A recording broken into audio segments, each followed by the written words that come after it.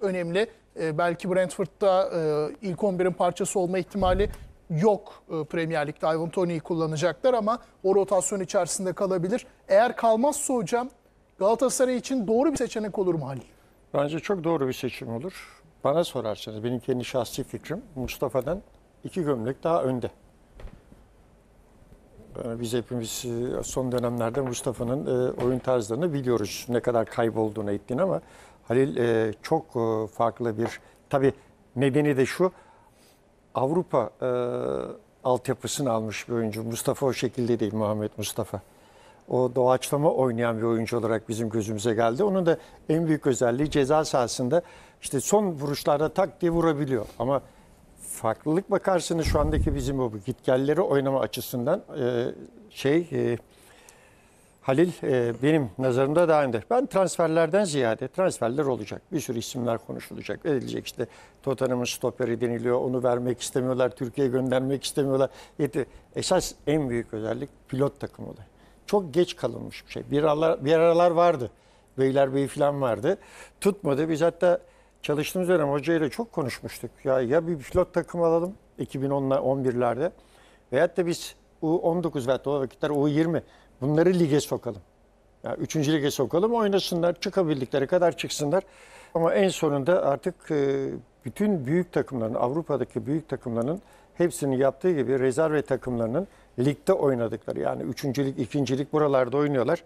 E, bir pilot takımının olması e, elzem oldu artık. Çünkü siz elinizdeki oyuncularınızı, altyapıdan çıkan oyuncularınızı farklı bir yerlere veriyorsunuz. Kendi kültürünüzden uzaklaşıyor. Futbol kültüründen uzaklaşıyor. Onları takip edebilirsiniz. E, bir sene, iki sene oynar orada. E, çıkan çıkar, çıkmayan da gene satarsınız. Gene o sirkülasyon gider. Ben bu konuda e, Galatasaray'a bir sürü teklifler geldiğini, pilot takım olarak teklifler geldiğini çok iyi biliyorum. E, bugün de bir yazışmamız oldu. E, bir e, Galatasaray'dan bir, bir birisinde diyelim. E, tekliflerin geldiğini, e, çok pilot takım olmak isteyen e, ekiplerin mevcut olduğu söylendi. Ben bunu daha çok e, transfer yapar. Galatasaray yapar diye ne yapması yani. Onu bulursunuz, bunu bulursunuz. Kendi şartınıza göre uygunluklarda getirirsiniz. Önemli olan bunu oturtursanız işte Türk takımlarının Galatasaray bunda öncülük olur ama buradan da çıkışlarda size oyuncu kazanırsınız ve satışlarda gitmemi farklı bir yerlere verirsiniz. Scoutlar gelir incelerler oralarda da izlerler. Oralarda da izlenir yurt dışı scoutları ama Evet. siz siz yeter ki böyle bir hamleyi yapın. E, Biz de gittik çok rezerve takımlarında oyuncuları izledik.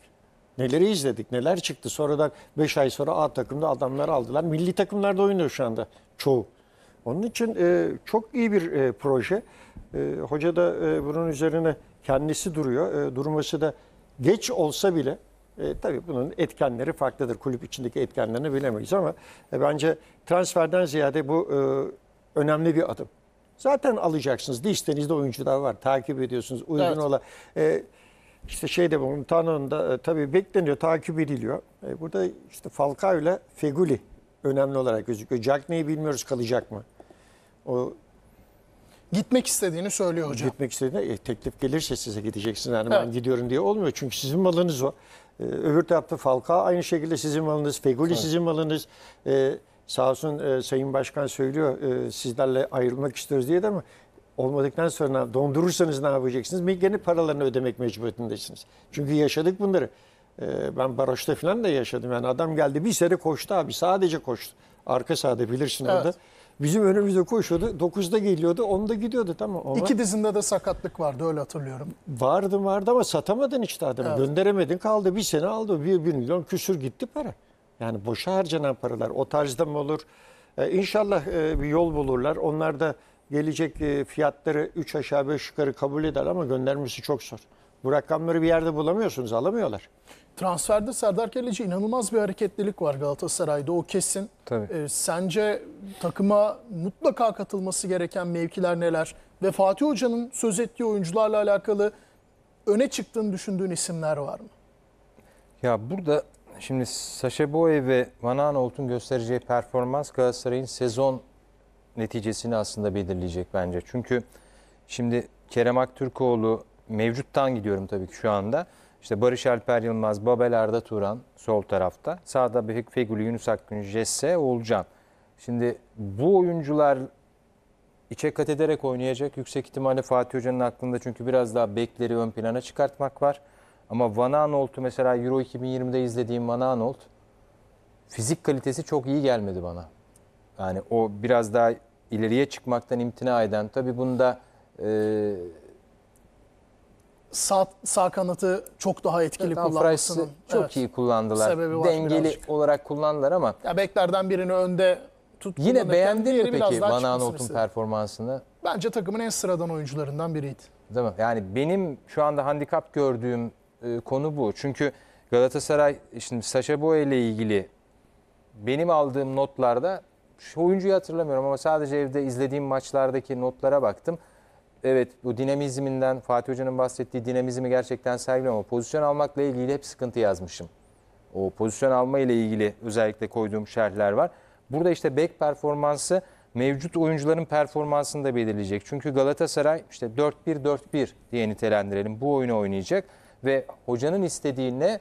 Feguli'nin de Kerem Aktürkoğlu'nun da özellikle beklerin önünü açmasını istiyor. Yani içe kat ederek oynamasını istiyor. İçe kat ederek oynadığı zaman Van Aanholt'un ve Sacha Boey'in o 70-80 metrelerde nasıl performans vereceği bu çok önemli. Yani burada da e, fizik kaliteyi çok ön plana çıkartacak bir antrenman temposu gerekiyor. Geçen seneki antrenman temposunun çok verimli olmadığı aşikar. Bunun başka bir metodolojiyle gitmesi lazım. Çünkü Galatasaray'ın geçen sene bekleri çok eleştirildi. Bu oyunda da kıymet harbiyesi bence yine bekler ön plana çıkacak. Dolayısıyla Sacha Boey ve Van Aanholt'un performansı önemli. Transfer konusunda e, tabii alınan ve görüşülen isimler Halil Dervişoğlu olmak üzere doğru isimler. Galatasaray ama Mustafa Muhammed'le ilgili yine bir tasarruf yaptı ve oyuncuya bir yatırım yaptı. Mustafa Muhammed bu takımın birinci santiforu. Halil gelirse nerede oynatacaksın? Yani Halil Dervişoğlu'nu kenarda oynatmak fikri bana çok cazip gelmiyor. Yani sağ kenar ya da sol kenar hiç fark etmez. Oynayamaz orada zaten. Tabii yani ve dolayısıyla ilk geldiği gün de aynı şeyi telaffuz etmiştim. Kerem'le o hep tartıştığımız bir konu. İç oyuncusu olarak konumlandırmak. Yani 4-1-4-1'de sağ iç, sol iç buralara konumlandırıp orada o stoper ve orta saha arasına, blok arasına koşu yapan oyuncu kıvamında belki bunu işte sahte 9 diye de adlandırabiliriz. Sahte 9 oyuncu zaten. Ha, yani ama bunu e, fark ettirmeden yapabilmek, iç gibi konumlandırıp zaten oyuncunun en büyük meziyetlerinden biri bu. O blok arasına sarkıp stoperlerin kucağından ya da diğer e, oyuncuların kucağından çıkıp top almak ve o topu bir an evvel o dediğin ilk dokunuşu çok iyi yapan oyunculardan biri. O da öyle evet. Yani dolayısıyla burada e, zenginlik olur mu? Evet Halil Dervişoğlu gelirse. İkisini beraber kullanacaksan birini sahte 9 rolünde o zaman takım savunmasında hem beklerinin çok ciddi katkı vermesi lazım. Özür diliyorum. Kanat oyuncularının hem de orta alan Ya da- yeterince dinamik olmalı. Sanki orta alan onu kesinlikle karşılamıyor. Evet. Ya da Şu anki planda ya da yine 3-4-2-1 gibi bir formasyonda yine bekleri çıkartacaksın. 3-4 o Halil veya işte gelirse eğer Morutan'ı beraber yani o dörtlü orta sahanın önünde Morutan sağda solda da e, Halil Dervişoğlu önünde de bir Muhammed'le yola çıkabilirsin. Bu da yine beklerin hücuma verecekleri katkı. Evet. Ama diğer taraftan da 3 stoperle oynadığın zaman zaten beklerin kademesine biraz daha gireceğini kabul edersek stoperlerin en önemli kısmı belki Galatasaray üçlüye dönerse şu olur. Van Aanholt ve e, Sacha Boey'nin oyun metrajını kısaltmış olursun. Arkalarında bir kademe olması avantajından dolayı. Galatasaray zaten 3. bölgede oynuyor. E zaten pozisyon veriyorsun. Yani Bu bir fikir ama dönme ihtimali sence var mı hocanın? Valla hoca bir değişim ve bir nasıl diyeyim güncelleme yapacak gibi gözüküyor. Yani bunun sinyalini PSV Eindhoven maçında ben hocayı o maçta eleştirmiyorum. Mesela niye üçlü çıktın hocam demiyorum. Çünkü hocanın kafasında şu vardı. PSV Eindhoven PAOK maçını ben de izlediğimde ya adamlar merkezde ön alan baskısını çok iyi yapıyorlar belli. Hocanın fikri de bence şuydu. Üçlü bir stoper anlayışıyla stoperlerin pas opsiyonunu çoğaltayım.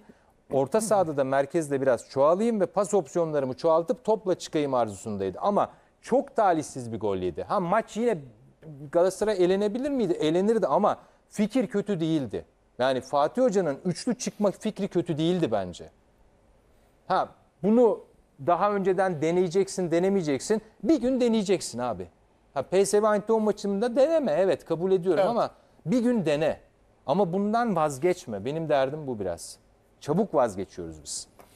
Galatasaray'da transfer üzerine konuştuğumuzda hocanın Melo ile ilgili söylediği şey hocam dikkat çekti. Melo'ya gel diyebiliriz bir uçakla burada olur ihtiyaç halinde. Böyle Doğru- bir ifadesi söz konusu. Doğru çünkü elinde çok fazla olmuş oyuncu yok. Evet. Ee, hoca da belki futbol kariyerinde, antrenörlük kariyerinde ilk defa bu kadar genç oyuncularla, pozisyon bilgileri zayıf olan oyuncularla oynayacak. Yani ilk defa diyebilirim yani çok fazla olmadı. Ee, yaşamadı çünkü hep bir kere 28'in üzerinde, 25'in üzerindeki oyuncular geldiğinden beri yani 96'dan beri şöyle bakarsak Ama milli takım serüveni var hocanın ya. Şimdi ben genç oyunculardan var. 20 yaşındaki, 22 yaşındaki falan o tarzdakilerinde hiç oynamadı hoca. Genç milli takım tecrübesi var hocam. Genç milli vardı. Milli takımlar farklı. Bak, Kulüp milli takımında takım- oynamadı Ben diyor. kulüp takımından bahsediyorum. Milli takımlarda çünkü atıyorum 3 ayda bir oynuyorsunuz. Ligde her hafta oynayacaksınız. Onun için Melo tarzındaki bir oyuncunun sahanın içinde olmasını e, düşünebilir. E, çünkü önünüzde örnek var. Rakibinizde bir Atiba var. Gösterdiği performans belli. E zaten Melo da Brezilya Ligi'nde oynuyor. E, bizden herhalde 5 kat daha üstün bir ligde oynuyor. Ve devamlı oynayan bir oyuncu. Melo'da hiç yani e, 38 yaşında ama evet maç sayısı hala devam- çok, çok iyi. fazla ve oynayan bir oyuncu. 20 ile falan bitirdi galiba geçen sene. Yani devamlı, devamlı oynayan bir oyuncu. Ee, Onun için bu tarzdaki oyuncuyu belki alabilir. Hani biz diyoruz ya e, kendi tarzımızda işte ateşleme ateşleme. Gelelim bekler konusuna. Ee, Saşa bir kere boya pozisyon bilgisi çok zayıf olan bir oyuncu. Bunu buralarda defalarca konuştuk. Ee, Ama e, siz üçlü de oynasınız, dörtlü de oynasınız. E, Yiğitlinden nasıl bir buralarda hep konuşuldu ya Yiğitlerin işte giriyordu, dönemiyor, edemiyor. Aynısını buralarda. En büyük sıkıntısı hocanın orta saha, forvet ve ne olmayacak? Bekler olacak. Müdafayı ne şekilde kurgulayacaksınız? Bunları çıkartma. Zaten devamlı oynanıyor. işte içeri giriyorsunuz, bekler gidiyor. Bu bilinen bir şey. Senelerden beri oynanan bir oyun tarzı. Ama öyle bir şey ki adamlara diyoruz ki ya bu adamlar nasıl kapatıyor? Kapatıyorlar. Çünkü devamlı değişkenler. Hoca herhalde bu sezon e, bir şeyler e, katması lazım yani. Oyun sistemine, gidişatına, kendi e, futbol mentalitesinin bir farklı bir üzerine 30 çıkması lazım. saniyemiz var hocam. Yani benim e, düşüncem e, burada rakamlardan ziyade e, sizin elinizdeki oyuncuların vereceği performans çok önemli. Bilhassa bekler. Beklerde çünkü e, ikinciye bakarsanız sol tarafta adamınız yok. Stoperleri şu andaki stoperlerden çıkarsak ikinci adam yok. Üçlü, üçlü de oynasanız bile yok stoperde. Alparslan falan deniyor ama onlar e, tabii Türkiye Ligi'nde önde oynadığı için Galatasaray bir yerde sırıtmayabilirsiniz ama daha farklı bir stoper profilini görmek istiyor tabii e, hoca da. Yani herhalde iki tane mevki üzerinde duracaklar. Onun haricinde de diğerleri herhalde şu andaki kadroda lüks olur gibime geliyor. Ee, sevgili seyirciler kısa bir ara vereceğiz. Maça gitmenin maliyeti yeni dönemde taraftarlar için ne olacak? Hep birlikte izleyelim. Sonrasında e, burada Aspor ekranlarında spor gündemi transfer